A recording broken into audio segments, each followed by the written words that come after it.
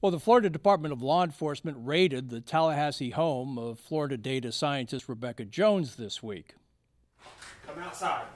Outside. Who else is in the house, ma'am? My two children and my husband. Where's your husband at? Calm down. Calm down. You want the children now? Calm them all down. Mr. Jones, come down the stairs. Now!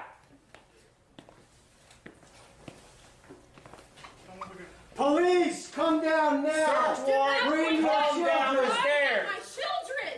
Glenn, hang on. Let me clear He behind you. just pointed a gun at my children!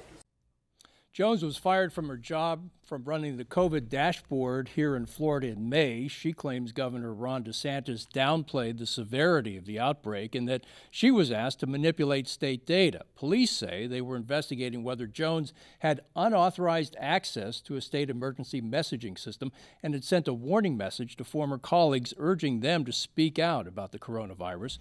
Joining us now is Rebekah Jones. Rebekah, welcome to Florida this week. Good to have you here. Thank you for having me. Uh, Rebekah, I want to ask you about the governor in Tampa on Friday. He said you became famous because you pushed a, cor- uh, a coronavirus conspiracy theory. What would you say back to the governor? I'd say that I was a very unwilling participant in the media circus that happened in May, and that I refused to speak to anybody from the press for days while he went out and slandered me and defamed me and left me no choice but to speak out. Why did you finally come out? Why, after after all those days, why did you finally begin to speak to reporters? because I realized that my personal privacy had already it was gone it evaporated i had no privacy anymore and the information that i had could possibly save lives and i had an obligation a moral obligation to tell people Do you think the state coronavirus dashboard is currently telling us or giving us an accurate picture of the dimension of the disease here in the state? Well, the dashboard that I built was really only one aspect of the entire data system that I ran over at the Department of Health. And we already know that DeSantis's administration has personally intervened in how deaths and hospitalizations are counted in this state. We are one of only a handful of states left that does not track nor report probable cases and deaths. The CDC says that we're undercounting deaths from coronavirus as, by as much as 8,000, which is pretty significant considering we're still under 20,000 at this point.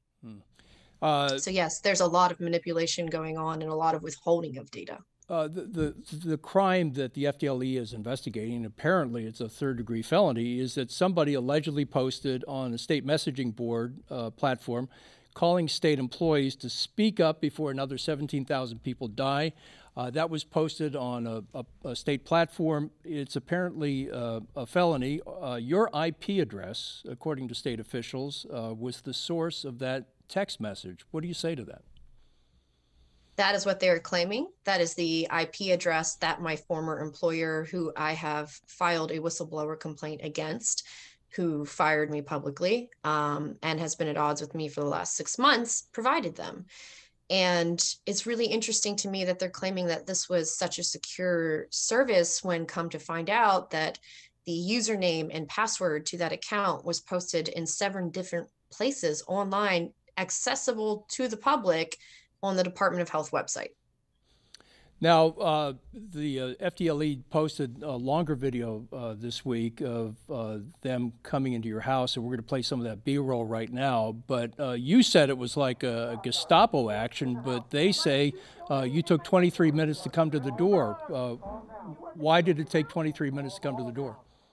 It did not. Um, the police never announced that they were there with a warrant. They never told me they were there with a warrant. As far as I understood, you do not have to speak to the police or open your door if they do not have a warrant. As soon as they announced that they had a warrant, it was 39 seconds between when they said police warrant open the door and when the door was open. 39 seconds. That's how long it took. Uh, you said that they pointed guns uh, at your children. Uh, uh, they say they didn't do it. What? Why do you say that they pointed guns at your children? I have video of them doing it.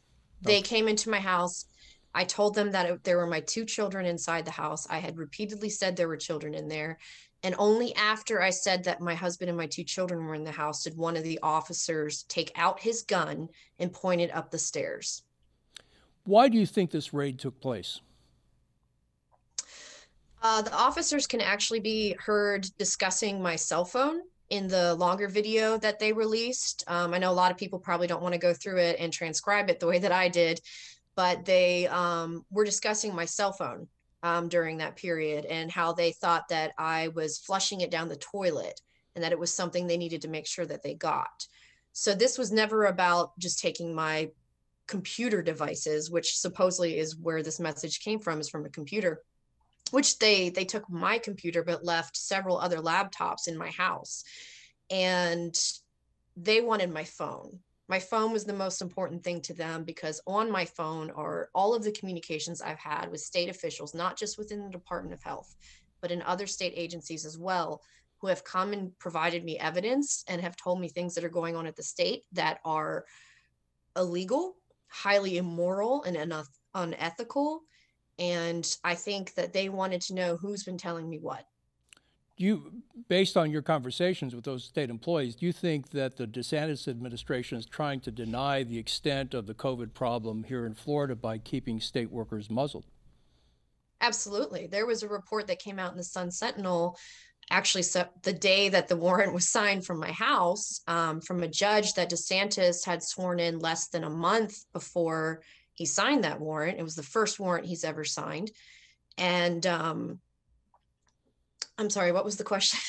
Uh, do you think that state workers are being muzzled oh, yeah. by the DeSantis administration? Yeah, the Sun Sentinel came out with an article um, with a line of evidence saying that in the weeks before the election, state health employees were told not to talk about COVID 19 in any context. They were completely shut up from being able to even discuss the virus, even though things were getting worse in the state in the weeks leading up to the election. The communications director, or the former communications director from the Department of Health, issued that.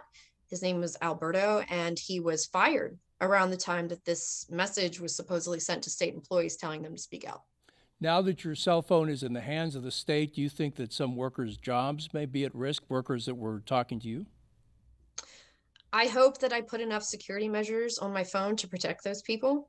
I made every best effort that I could. I used double encryption and secure messaging apps.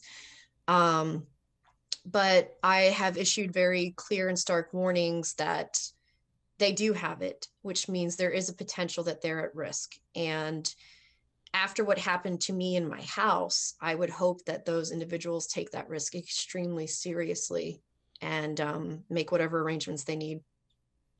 How, how, how, how big of a change has this been for you? What's it been like going through this for the past few months?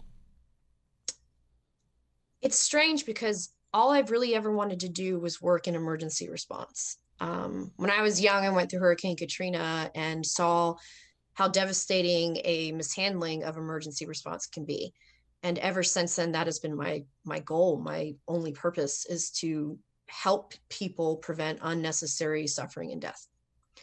And i feel like in a weird strange turn of events i've been able to do that to an extent over the last six months that i never imagined possible. And it's kind of this um, weird situation where it's awful to have a governor hate you that much, a man who I've never actually sat down and spoken to one on one, to loathe me in the way that he does just for reporting information. But I feel like the work that I've done and the research that I've done has, I hope, made a difference and helped save at least one person's life. And then if I did that, then all of this stuff that he's put me through is worth it. Rebekah, we just have about 40 seconds, but what would it take? You know, the governor's pushing back and, and he's denying everything that you're saying. What would it take to get, get to the bottom of this, to get the truth out? What would you like to see happen? I'd like to see the FBI investigate the governor. That's what I'd like to see. Do you think he's committed crimes? He's committed many crimes.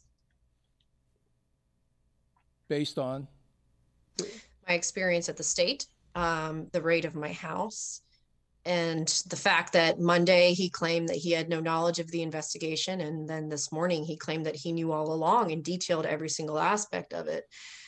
You can't just break down people's doors and arrest them because you don't like that they're doing research that makes you look bad, that makes people understand better what's going on around them. That's not how this country works. That's not how this country is supposed to work. And it should be a crime to just harass people because you don't like what they're saying. It's unconscionable. Rebekah Jones, thank you for coming on Florida this week. Thank you for having me.